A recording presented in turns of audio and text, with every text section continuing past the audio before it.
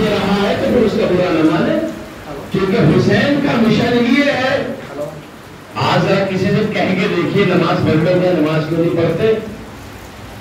तो ज़मीन जो है, उसके ऊपर सिलवटें पड़ जाती तुमसे क्या मतलब? मैं जानू खुदा जाने? तो फिर हुसैन से भी कहते तुम तुमसे क्या मतलब? खुदा जाने और मैं जानू? आका हुसैन ने तो इस बात को कहा अमीर मारूफ की नहीं कर रहा और अमीर मारूफ में सारी चीज़ें आती हैं क्या नहीं आती?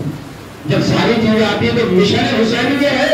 अमीर मारूफ आगे बढ़ाया जाए मिशन हुसैन ये है कि जहाँ बुराइयाँ हो रही है, उन्हें रोका जाए। अब अगर किसी मोहतरमा से कहा जाए कि मजलिस इमाम हुसैन में चादर पहन के आया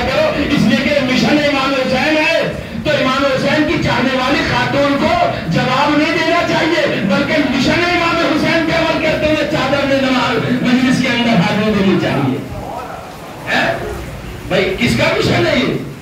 इमाम हुसैन का मिशन है ना?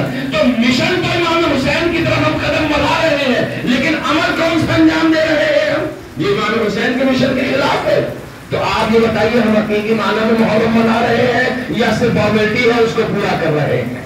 इंसाफ कीजिए आप जरा सा। हमने मिजाज हमारे मिजाज में ये बात है कि हम अमर बिन मारो में नहीं अजमन से हमारा कोई ताल्लुक नहीं है हमें यह देखना है कि जब हम जिसके साथ खड़े हैं उससे हमारी क्या है?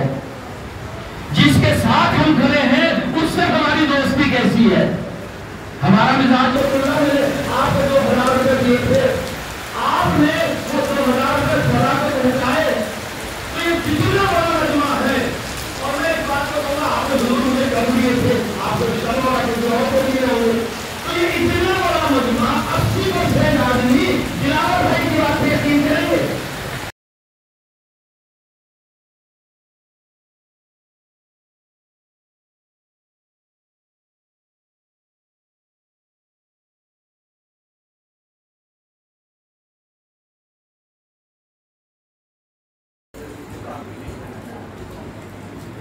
उल्टा बीच बीच में वहाँ पर उस साइड देखना हाँ तो ये देना ना? हुआ?